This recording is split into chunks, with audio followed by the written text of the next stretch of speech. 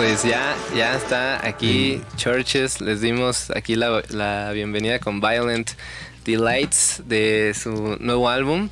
Y pues bienvenidos, bienvenida, welcome uh, to La Bestia Radio, to Diversirama. Such an honor. Thank you for having Thank us. you. I was uh, at the Beast actually, The yeah. 666, the number of the Beast right Let's here. I, I was uh, just remembering that I saw, I was remembering about Corona Capital 2014, uh, that festival uh, where it was full of mud. First time you, you you guys played in Mexico City, I remember trying to get to the front, but it was very difficult because of the mud pools and, and the people. But how uh, how do you feel that your relationship with your fans in Mexico have been like evolving since then? It's been like eight years, I think. Yeah, I mean, people have always been so kind to us when we come here and play. And it's been quite a long time since we got to come here. 2018, I think, was the last time. So Yeah. we're really excited to be able to be back. And uh, yeah, the festival we played on Friday was quite quite bonkers. People were very, singing along very loudly, which I appreciate. Uh, did you have fun on, on Friday? How was it? How was Emblema overall? It was great. Yeah, we, we never saw much of anyone anybody else, but we came in, we ate some really nice tacos, and we played the show. the show was killer. Um, it was it was really a warm welcome back. Okay, we're gonna talk about about the food in a moment, but did you get to see anyone at the festival? I don't know, Backstreet Boys, Gwen Stefani. or- No, no time. I There wish we'd no been on the same day as Gwen Stefani. That would have been really. Yeah. I've never actually. I've never seen her live. I don't think so. That would have been really good. But um, yeah, we had to leave. Uh, we had to leave, so we didn't see anything. Yeah, uh, that's such a shame.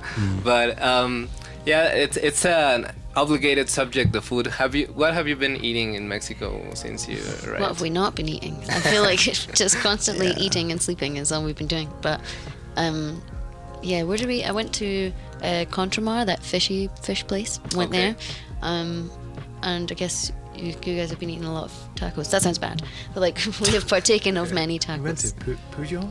Pujol. Pujol? How do you pronounce? Puyol, I think that that way, like that, That was sounds good. Puyol, yeah.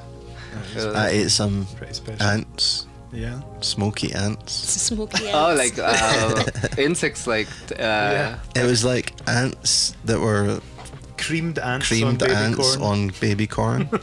It sounds good. I don't know. It was. I'll tell you, it It's was good. It was good though. Yeah. It was cool. It feels like a, it goes good with uh, mezcal. Yes. Like Yeah. a cup of mezcal. I Hell yeah. Yeah.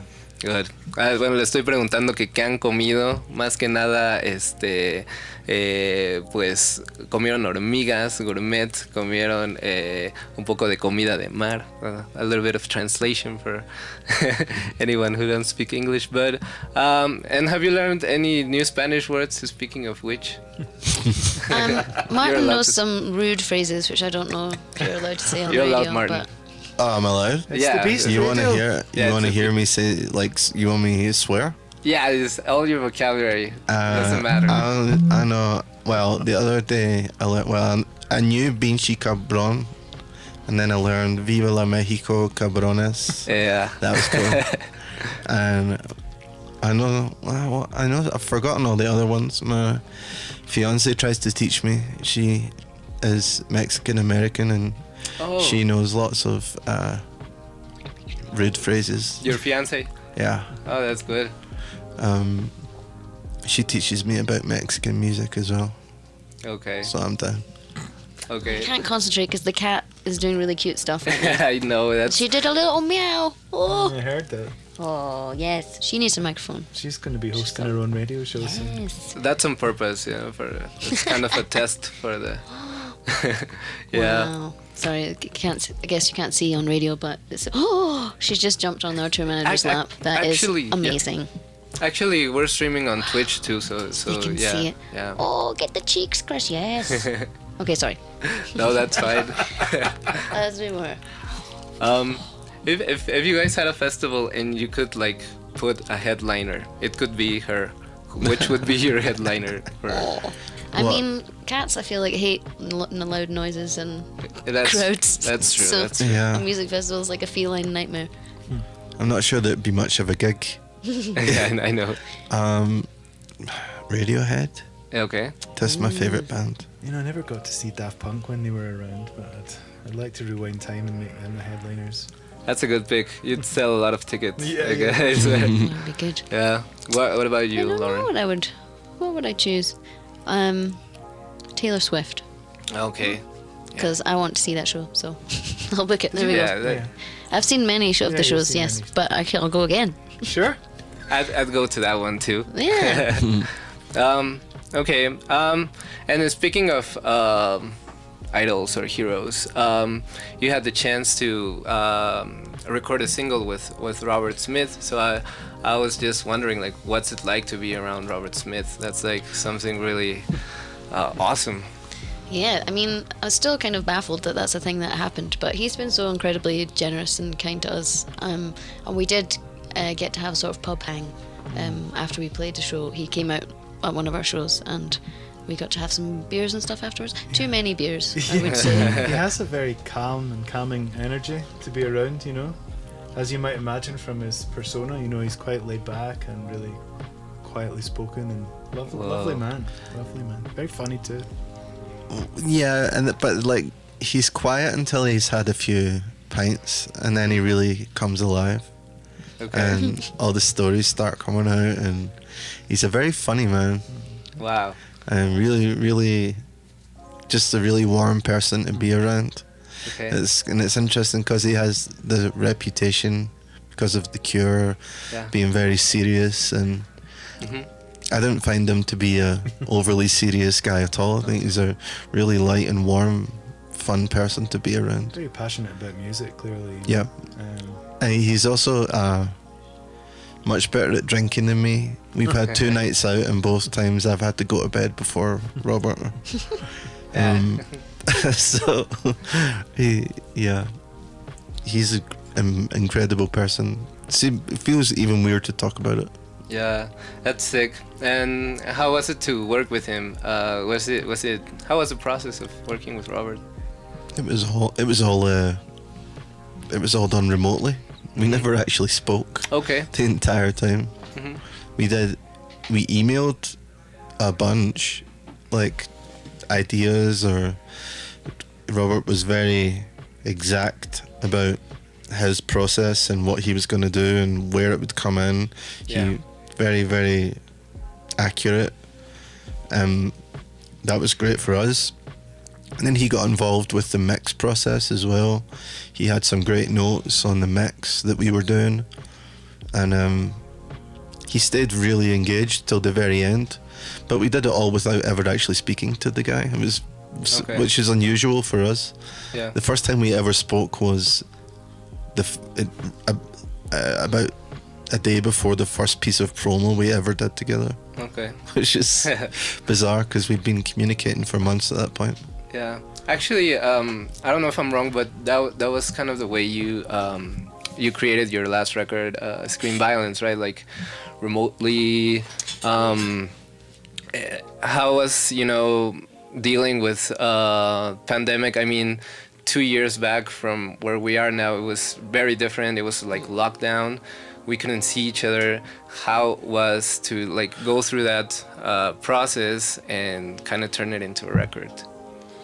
I mean, it was very, very weird, a very unusual way to make a record. But um, we had a little bit of time together right at the start of the of the year, so like February, February, March, 2020, and then we all went home to our separate places. And right at the end for the finishing of the record and the mixing, we could be in the same place. Okay. But yeah, quite surreal and strange. But I don't know. I think it added something to the energy of the album that it wouldn't have otherwise. It's like a little time capsule of that experience, I guess.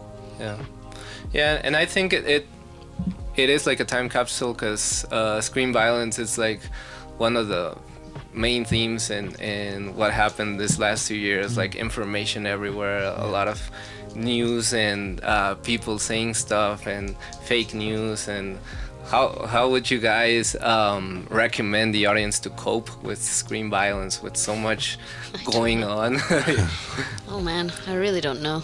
I think my, my screen time during the height of the pandemic was absolutely horrendous. So Okay. I don't have any good advice. I'm just as bad as everybody else. Yeah. Play I, mean, I think it's just Yeah. very new. It's it's still very new. Yeah. the idea of us interfacing with the screen as much as we do. Uh, It's the type of thing that will, as technology moves forward, will probably become different. Yeah. Um, yeah, I don't have the answer to that one It's either.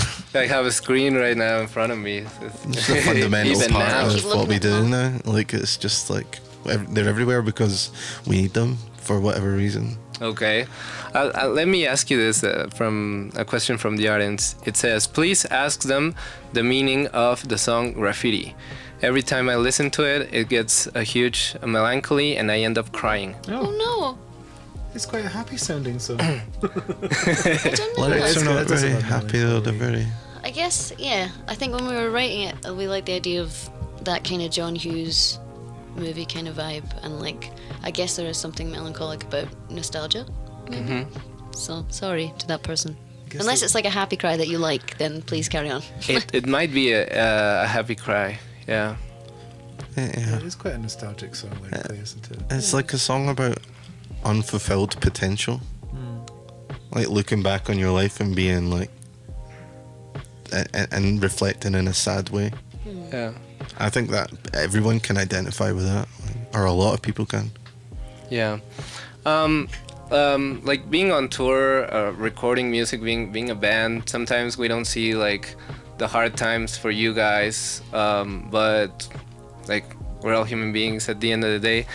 How do you guys like cope with mental health and, and staying like with a good like um, well, okay I don't know. Um, no, I guess. Um, yeah, tour tour is always very inconsistent, and like the only routine is that there is no real routine to it. So, yeah, I don't know. We've gotten better at it, maybe, kind of. Yeah, I mean, medicate, uh, talk to people. Natural medicine like not natural medicine You know, so Anything sometimes there's all there's all, all kinds of medicine. Some are,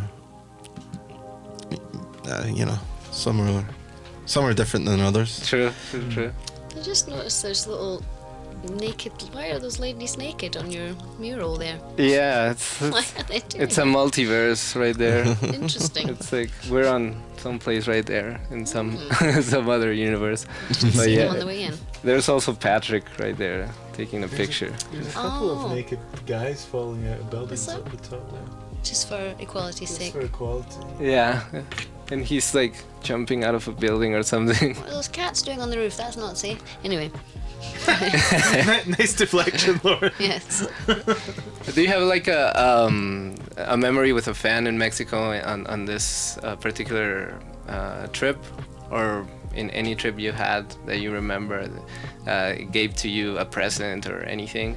I mean, people are always so kind to us. They bring lots of presents and like signs at shows and things like that. Um, somebody at the show the other day made a like green velvet cape that had some lyrics on the back, which I thought was really great. But then I got too excited picking it up and I missed the start of the song. You, so you made it just in time. it was a bit rough, but that was my fault because I wasn't concentrating. I was overexcited about the cape. Okay. Yeah.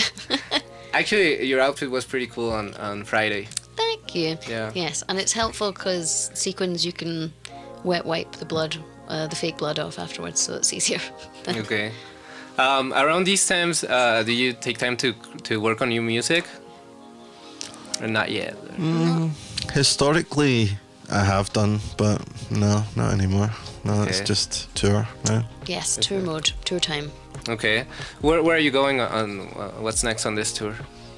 Um, we have a show in Monterrey and then uh, Corona Capital in Guadalajara, and then uh, US touring, and then we've got a couple of European festivals in July, I think, and then yeah, just back to it. Okay. Okay. Very good. Very good. So um, let's let's listen to a, a track. Uh, uh, kind of an old song, uh, an oldie but a goodie. One of my favorite from CHVRCHES. It's Lies, and wow. and your uh, están con CHVRCHES aquí en La Bestia Radio. Nueve años, nine years. Uh, 10 years actually 10 años de que estaban haciendo esta, esta rola 10 years from from creating uh, this track and we almost have to say goodbye. But um but yeah thanks for being here. Um uh, thanks for playing again in, in this in this city.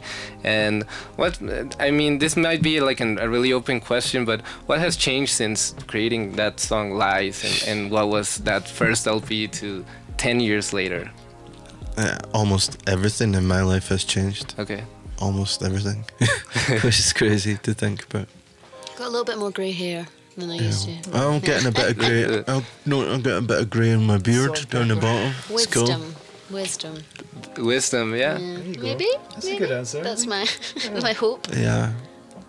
But Um, no, thank you for having us, man. We're really really grateful. Thank you for listening to the tunes. Yeah, no, thank, thank you guys for the music. And, well, that's it. Eso fue todo aquí en Diversirama. Thank you, CHVRCHES, once again. Have a great tour. Have a great show in Monterrey, Guadalajara, and wherever you go. Thanks, Thanks again for the music. And eso fue todo. Nos vemos el próximo lunes. Bye. bye. Bye.